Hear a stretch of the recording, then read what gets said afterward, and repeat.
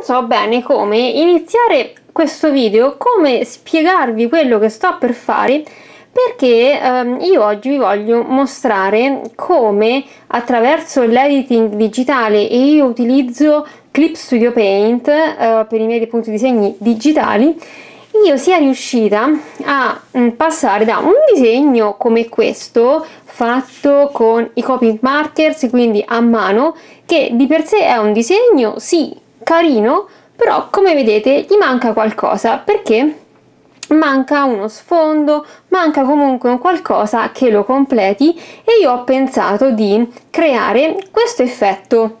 Questo effetto qua che al di là del, della colorazione eh, che vabbè qui ho fatto due diverse colorazioni eh, un po' sfumate faccia comunque questo effetto di riprendere il disegno eh, lo stesso disegno ma ingrandito e trasparente alle spalle appunto del soggetto. In questo modo il disegno assume una figura, un aspetto molto più simile tipo anche ad una copertina, magari che ne so, di un fumetto, di un manga, comunque ha eh, un altro effetto e siccome io tecnicamente non so bene come eh, si chiami questa, mh, mm, questo effetto, quindi questa tecnica, vi faccio vedere come ho pensato io di farla e alla fine il risultato è riuscito e quindi adesso passo a farvi vedere come ho fatto questo.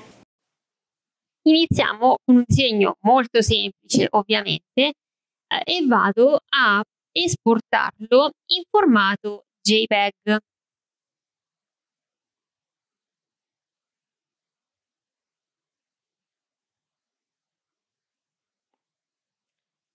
Poi, dopodiché, vado a importare l'immagine dentro a questa, la stessa. E una volta importata la vado a ingrandire e la rendo anche più eh, trasparente di modo che posso vedere poi quello che c'è sotto, che è l'immagine quindi originaria, e la posiziono come voglio l'effetto finale.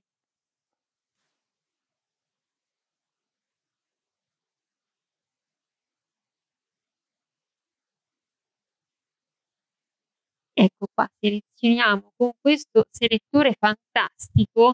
Questa veramente è stata una scoperta. L'ho scoperta mentre cercavo di fare questa, questa prova e non bisogna essere super super precisi perché poi si potrà andare a rifinire i bordi dopo. Però insomma cerchiamo di essere abbastanza insomma, precisi.